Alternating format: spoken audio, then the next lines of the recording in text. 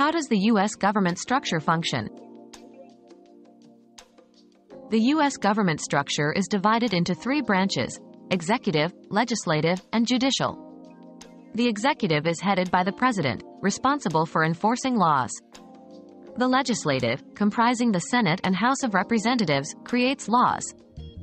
Lastly, the judicial branch interprets laws, ensuring they align with the Constitution.